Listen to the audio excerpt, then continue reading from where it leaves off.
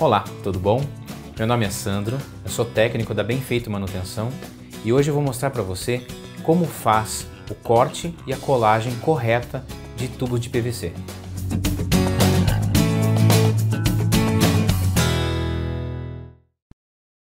A primeira coisa é você marcar o ponto onde você quer fazer o corte. Simples. Segundo passo, tá? Fixe bem o cano para você fazer o corte. É muito importante isso. Aqui eu tenho um torno.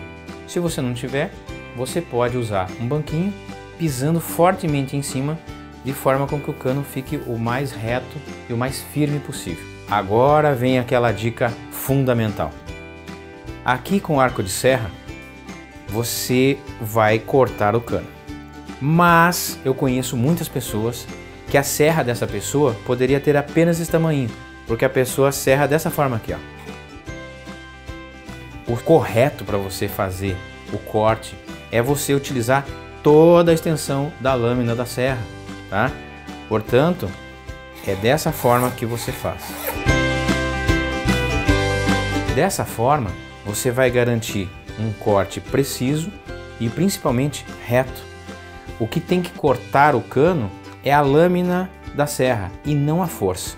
Então cortar um cano, seja dessa é, desse diâmetro ou de outro diâmetro, é a serra que tem que cortar. Não precisa fazer força, somente deslizar a serra.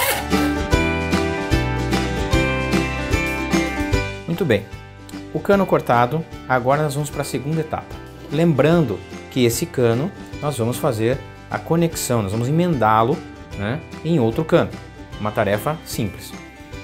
Para fazer essa conexão, nós vamos utilizar uma lima e vamos fazer um desbaste. Nós vamos fazer um, um rebaixo nessa peça aqui, tá? Então, com a peça apoiada, você vai desbastar o cano para facilitar o momento do encaixe.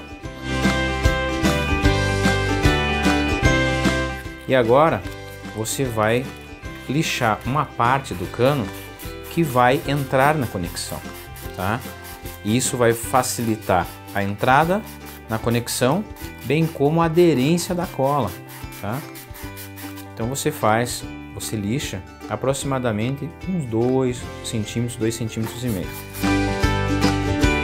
Você vai lixar essa peça, também não pode esquecer, você vai lixar a outra peça. Afinal, nós vamos conectar uma a outra. Qual é o próximo passo? Um passo que muito encanador profissional não faz, ignora, mas é muito importante. Nós vamos usar a solução limpadora.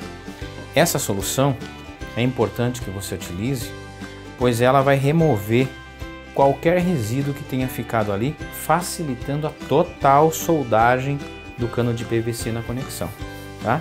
Então com um pouquinho num pano, tá? Você vai tirar a sujeira. Tirou dessa peça, vamos tirar da outra.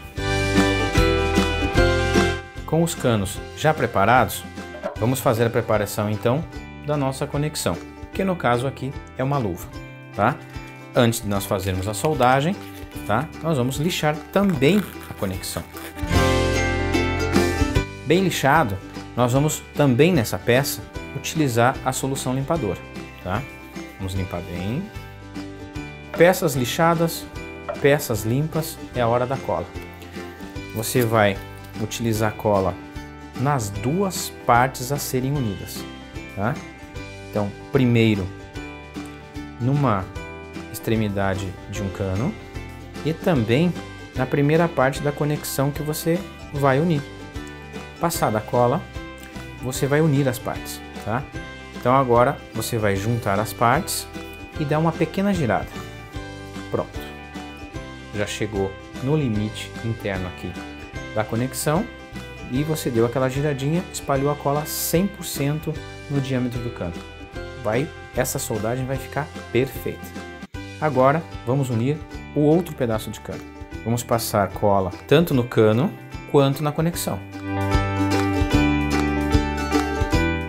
Agora sim, você tem uma soldagem perfeita. Embora essa tarefa seja muito simples, se ela não for realizada adequadamente, esse sistema de água é um sistema de alta pressão. Se você não fizer uma soldagem muito bem feita, ela vai dar vazamento. E nesse momento você vai se lembrar dessa aula. Puxa, eu esqueci da solução limpadora. Puxa, eu não fiz o desbaste. Puxa, eu não lixei adequadamente. Então não esqueça e faça um serviço bem feito. É assim que se faz o corte correto e a colagem de tubos de PVC.